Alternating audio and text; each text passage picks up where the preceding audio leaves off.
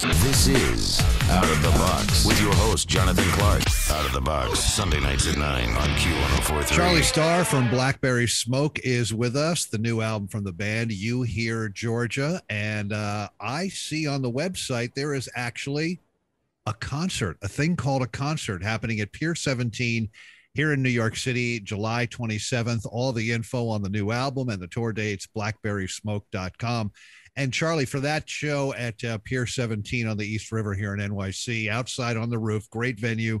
Now, is this show and the other shows on your tour, is it a definite or is it still like wait and see?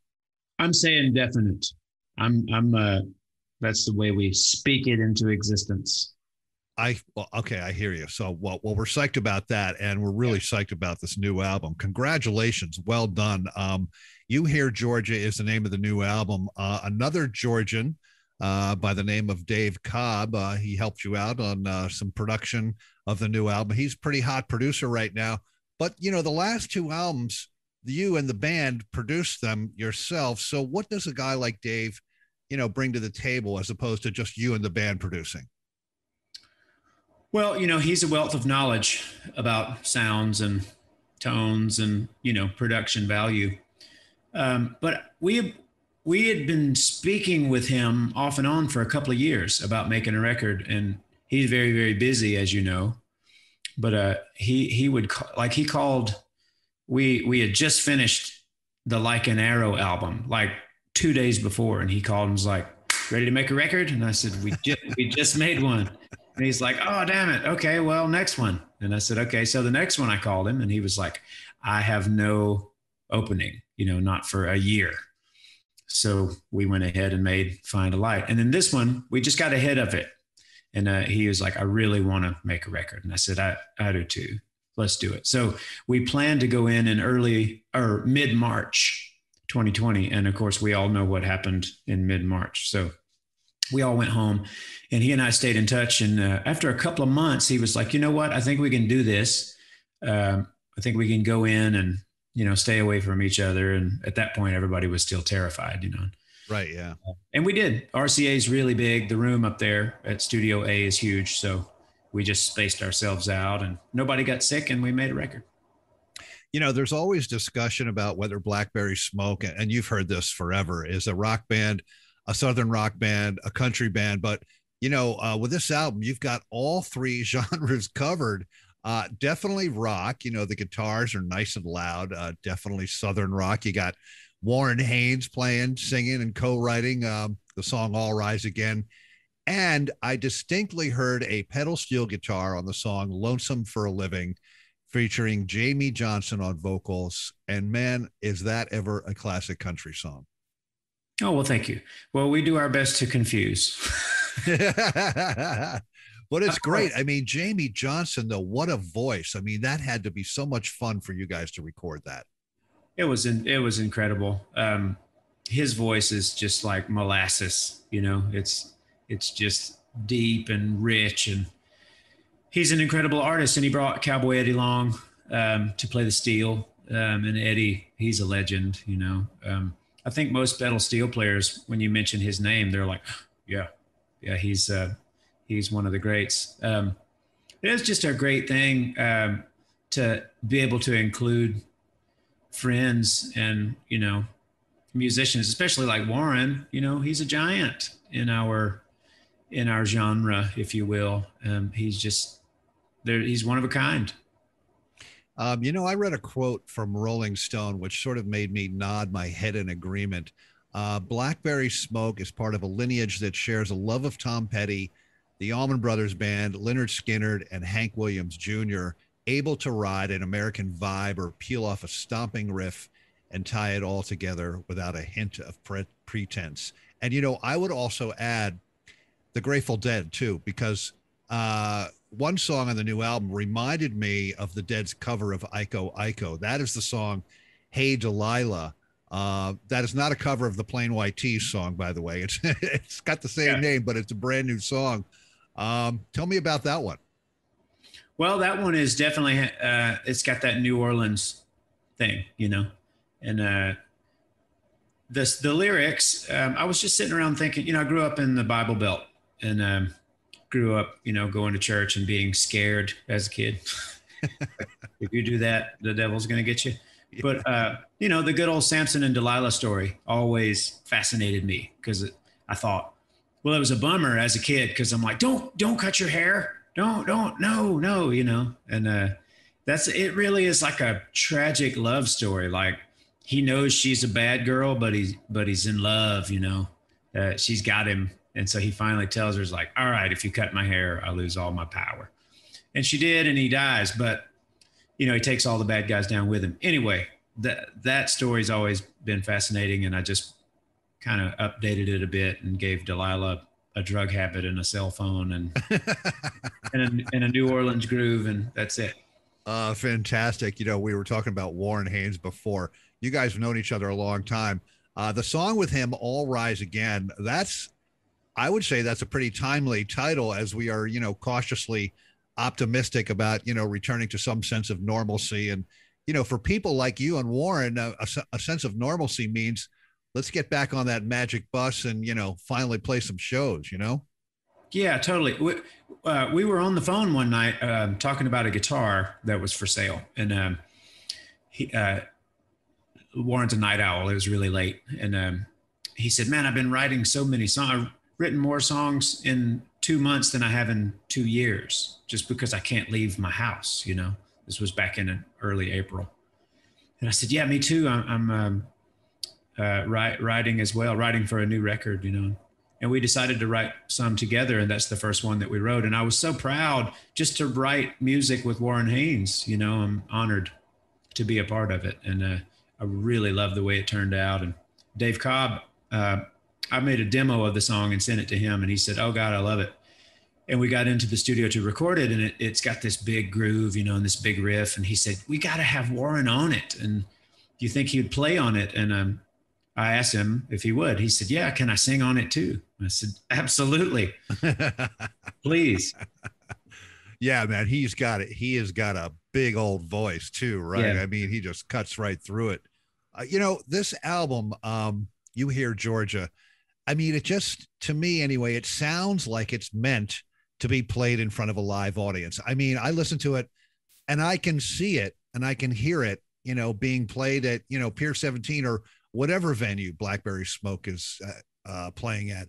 Do you, do you get that vibe too? It seems like, you know, it's a studio record, but it seems to be meant to be played live. I do. I do. And we've been doing some outdoor shows already and playing some of the songs as they are released we're I like to hold on to them until people have heard them, you know, or heard the recording. Um, but it's just it feels just fantastic to play them live. And I mean, the record is live anyway. We always record, you know, live on the floor, but this one was especially it's raw, you know. It's um, Dave was really good at capturing the moment.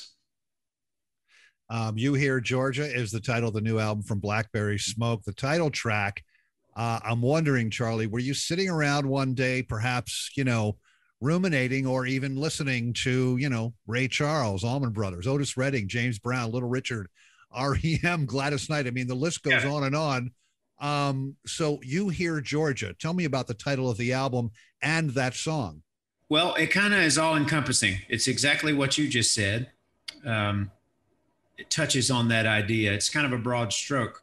But what actually inspired the first line of the song is I was sitting here at the house one morning having coffee, and my wife had the news on, and uh, there was a guy being interviewed, um, and he had a very very thick Southern accent, and it was very serious what they were talking about, but it made me smile, and I thought, I wonder if people hear what he's saying or just how he says it, and then that sort of opened up a whole can of worms in my brain about how people you know they have a tendency to judge you by how you speak or how you look or how you how you or where you're from or how you dress you know and it's just such a mistake you can make. Like i've got a good friend that is he talks like a hillbilly but you know he's he's brilliant. And i thought don't judge him by the way he tells you howdy because you'll be wrong. Um and then and then it was just like the whole idea of you hear georgia kind of wrapped around that and about the whole idea of fighting with people about it. You know it's like i'm done with that. I'm over it. I'm i don't have the heart to fight about it anymore. And it's like if you really hear georgia and that you know in that idea is exactly what you said ray charles and little richard and the allman brothers band and otis redding. And it's just a beautiful thing.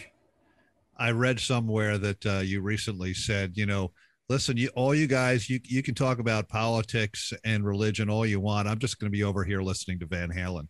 That's right. and you know, which leads me, and I know we talked about this briefly before the interview st- started. We are on a Zoom with Charlie Starr of Blackberry Smoke, um, but the people listening on the radio cannot see the guitars uh, behind you. They will see it when we post the interview later.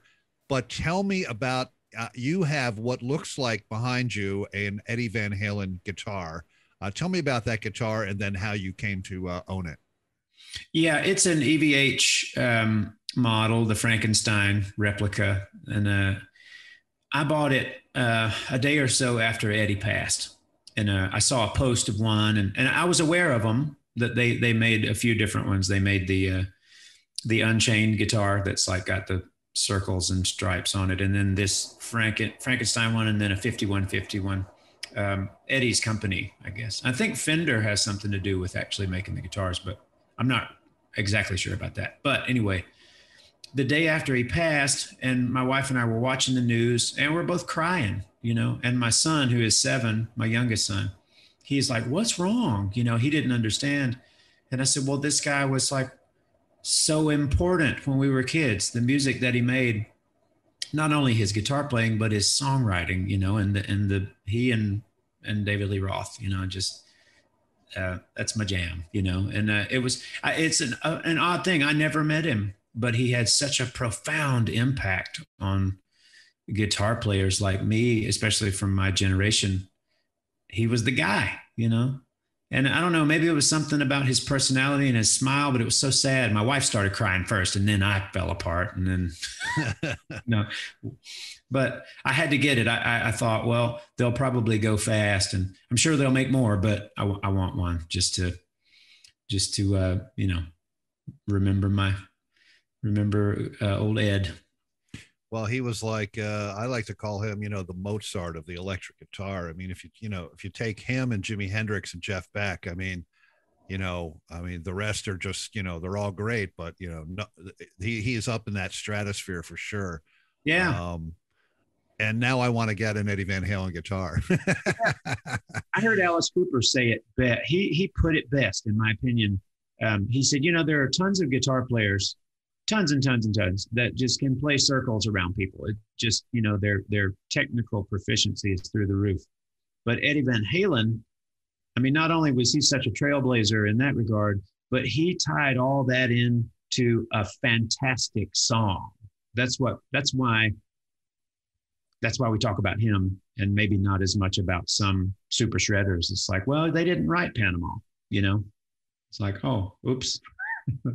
Yeah, no, you're absolutely right. It's it's not only you know the virtuosity, but it's just uh it's the song that it's the songs that he wrote and you know arranged you know with the other guys in the band. And then you know uh, did you did you ever get to see van halen live? I never did no. Oh man. Well you've seen the videos where it's like you as you said before he's just smiling all the time and just you know playing these riffs from outer space that no one can ever play and smiling and yeah. smoking a cigarette at the same time. You know, just my friend Keith Nelson from formerly of Buckcherry, he saw Van Halen in '84 with with Roth, the last tour with Roth, and he said, you know, a funny thing. He said, I, I went to see a band in 1990 or so, uh, another band that was um, that was huge, and he said, I remember seeing that band and thinking, that's what I want to do, right there. But he said, but if I look back on it, when I saw Van Halen in '84 there's no way in a million years I would think I could ever do that. Just the scope of it. It was so huge. It's like that's the thing. Dream. That's what dreams are made of. You know. His name is Charlie Starr. The band Blackberry Smoke and the excellent new album. Everyone should go out and get it. It's called You Hear Georgia, and they are coming our way. Finally, we love it. Pier 17 here in the city. July 27th. All the info, blackberrysmoke.com. Charlie, always a pleasure. I'm going to be at that show, man. I can't wait to see you guys just shred away the night. Yeah, I can't wait. It's it's it's time. Charlie, thank you so much, man. Thank you. Talk soon. All right. This is Out of the Box with your host, Jonathan Clark. Out of the Box, Sunday nights at 9 on Q1043.